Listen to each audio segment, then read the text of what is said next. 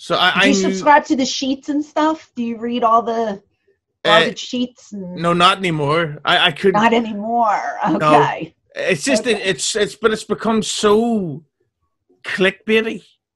Mm. Well, it's it's like like we say to people, if you believe this shit, then you deserve to lose human rights. and you just think that I can't take it anymore. I'm not like you. I'm so cool. I'm just obsessed with the past. I'm not a fan of the sheets. I'm not gonna lie. Not not a big fan at all. Yeah, I, I think Dave Meltzer might be.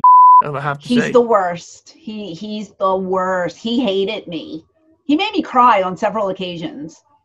he has a, an issue with women and Mhm. read into that for whatever you want but I, I know what i think about him and i know what i've heard from certain interviews and i think that he might be not that there's anything wrong with that but the way he talks about women even today it's like that's not normal and Yeah. there's something psychologically wrong there He's a bully.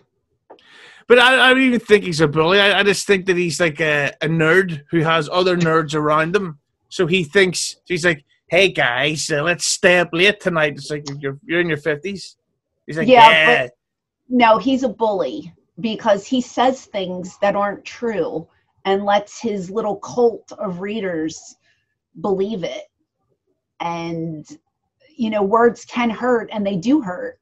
And you can call me oversensitive, but when you're a 23 year old girl who gets thrown on TV, who doesn't have any experience and is trying to make a name for herself and working very hard, and then you go and tell your your minions oh she's she sucks at her job and she's bulimic and anorexic and looks horrible and she can't work and this is every single performance.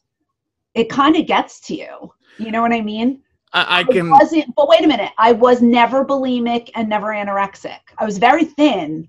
I i will say i was very thin but i was on weight gainer and i ate whatever i wanted back then i was 23 years old 23 24 years old right i couldn't gain an ounce of weight my metabolism was through the roof and you ask any of the people that I was on the road with, I would eat burgers and Chick fil A and milkshakes and all this stuff. I just never gained a pound. It wasn't my fault, you know? But when when you're judged and supposed to be a sex symbol on television, and then you have a man who has a core following and he's telling everybody you're bulimic, you're anorexic.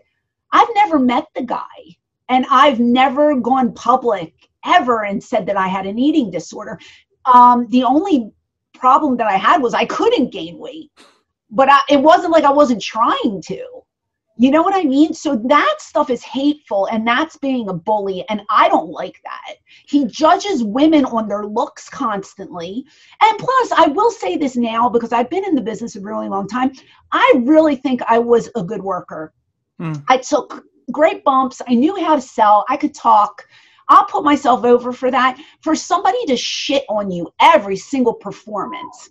All right, I, I get I'm not your cup of tea, but calm down. You know what I mean? Like, come on. It's But- too much. There- There's a I can translate all those insults that fucking Meltzer gave you, and it translates as, "Holy Jesus, she is gorgeous. I'll never get a girl like that. Fuck her. I'm gonna I- ruin her." No, I disagree. I just feel like for some reason he just hated me so much, and I never gave him any ammo to. I never mentioned him. I never met the guy. Never. I never really talked about him. I didn't read his sheet. I was, you know, back then we didn't have the internet, but people would literally put the paper in my hand, and I had no choice but to read it. Mm. And I hate to admit it, but I would cry. It would hurt my feelings. And I remember Paul pulling me aside and saying, you know, for every hundred guys out there, you're going to get that one who hates you and 99 love you. And I said, yeah, but the one that hates me is the one that sticks in my brain. Yeah. No, but he's a, So, I, I have a problem with Meltzer because I've I've been supposedly supposed to interview him for nearly three years, and and he like the fucking vaccine to a pandemic has come out quicker than this fucking crater faced uh, uh, agreeing to do an interview with me. So fuck him. I don't, I don't even want to interview him now. Listen, if you did an interview with him, would you kiss his ass? Oh, I'd you- I'd trash this Francine bitch from ECW in a second, okay. and I would tell him that I banged her.